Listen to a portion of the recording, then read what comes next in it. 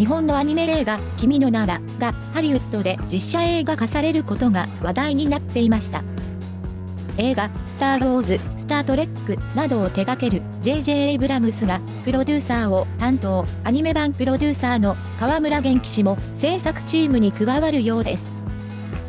今までと違い、今回はハリウッドの本気陣営が揃っていることに、海外からは期待の声が寄せられていました。東宝は28日、新海誠監督のアニメーション映画、君の名らの実写映画化を発表。米パラマウントピクチャーズと映画、スター・ウォーズシリーズを手掛ける J.J. エイブラムスの制作会社、バッドロボットが実写化に向けて開発を進めていることを明かした。ハリウッド版実写映画は J.J. エイブラムスとリンジー・ウェバーがプロデュースを担当。脚本はメッセージで2017年アカデミー賞脚色賞にノミネートされたエリック・ハイセラーが手掛ける。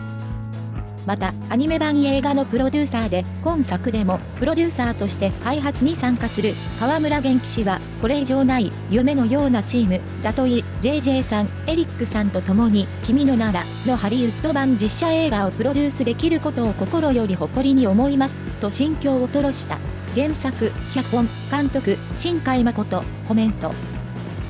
君のならは日本に暮らす僕たちのローカルな想像力、ドメスティックな技術で組み立てた映画です。そういう作品がハリウッドと交わることでもしかしたら新しい可能性のようなものを見せてもらえるのかもしれない。そんな期待をしながら完成を楽しみに待っています。